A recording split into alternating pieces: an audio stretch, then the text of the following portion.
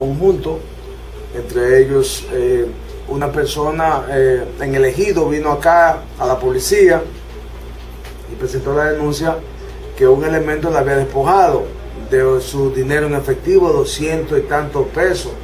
La policía inmediatamente eh, revisó el tema y vio que el señor tenía en su poder ¿no un machete, él le fue encima a la policía, él le llaman el reconocido delincuente Manolao de 42 años, pero su nombre es Félix Martín Fernández, recibió un disparo en una de sus piernas, en la pierna izquierda, porque había asaltado en el sector elegido a una señora.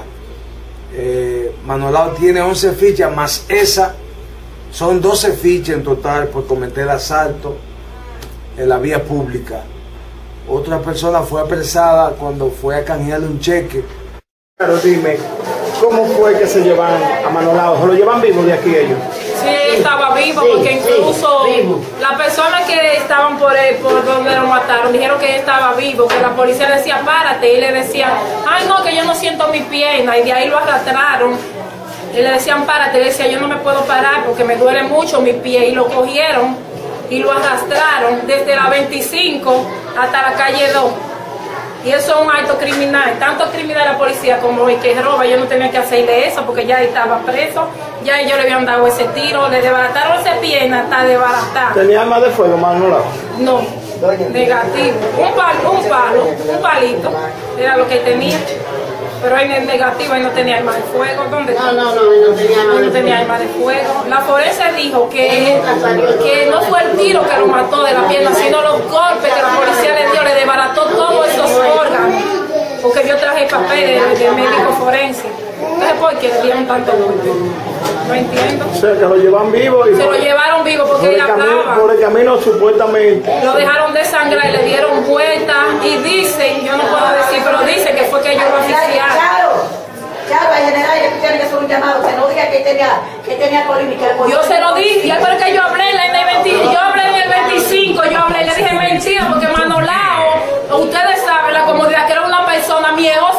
policía, que cuando la policía venía aquí, se escondía en el apocentro y cerraba la puerta y mamá cierra la puerta y Carmen, salía y él se quedaba trancado. Entonces, si como la, el jefe de la policía dice, dice que él era agresivo y se había enfrentado a la policía, entonces, ¿por qué nunca se enfrentaba y se quedaba trancado? Porque de aquí era que lo sacaban.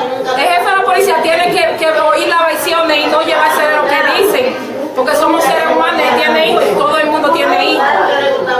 Y él, él en ningún momento ella estaba hincado y decía, ay, me duele mi pierna. Y ellos le decían, párate, párate. Y le daban golpes porque ahí está en el, en, ahí está en el papel de forense, que no fue, ojo, no fue el tiro que lo mató, sino todos los golpes y toda la barbaridad que le hicieron.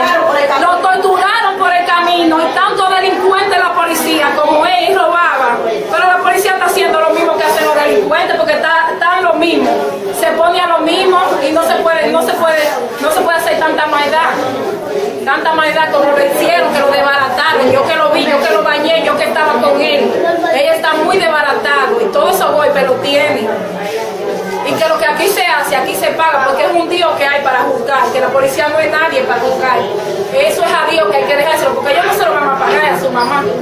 ¿Se lo van a pagar? ¿Usted cree? No.